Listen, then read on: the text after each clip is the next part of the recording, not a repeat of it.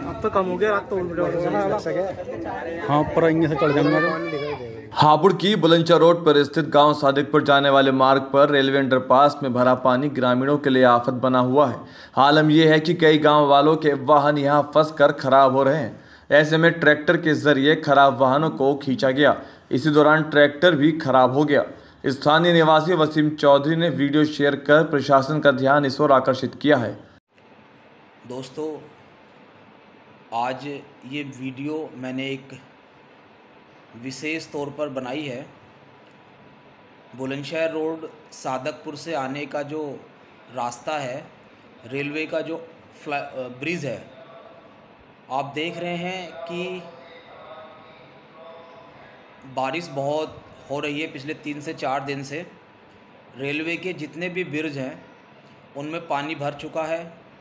सादकपुर गाँव से आने वाला जो रेलवे का ब्रिज है, जिसको ग्राम घुंगराला सलाई, कांकर, हसनपुर, काटीखेड़ा अनेकों गाँवों से जोड़ता है।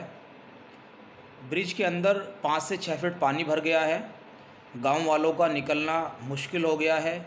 किसानों का निकलना मुश्किल हो गया है। कई भाइयों की गाड़ी पानी में डूब चुकी है और ट्रैक्टर मंगा के उनको निकाला गया है। उन गाड़ियों का इंजन ख़राब हो गया है। ट्रैक्टर भी पानी में फंसा है। कैंटर गाड़ी भी पानी में बंद हो गई है। मैं इस वीडियो के माध्यम से प्रशासन और रेलवे को अपनी बात पहुंचाना चाहता हूँ कि आपने जो रेलवे का ब्रिज बनाया है उसमें जो आपने हार्वेस्टिंग का सिस्टम किया है कि जिससे पानी आए और पानी हार्वेस्टिंग बोरिंग के माध्यम से नीचे चला जाए, आपने जो हार्वेस्टिंग किए हैं, उस पर पूरी तरह से मिट्टी उसमें अट चुकी है, जिससे पानी नीचे नहीं जा पा रहा है।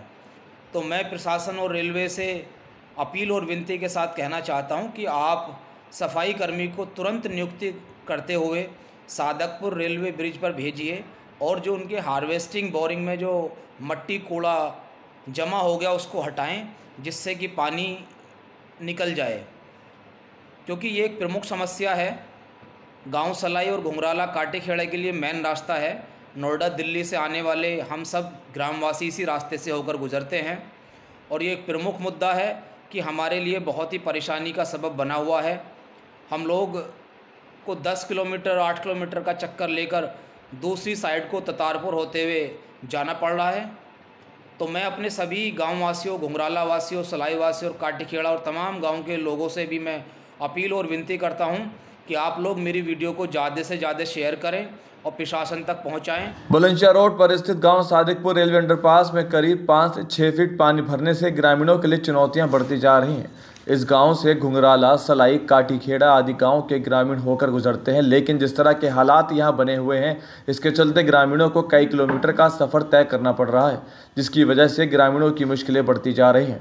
ग्रामीणों का कहना है कि जल निकासी की उचित व्यवस्था न होने की वजह से उन्हें परेशानियों का सामना करना पड़ रहा है।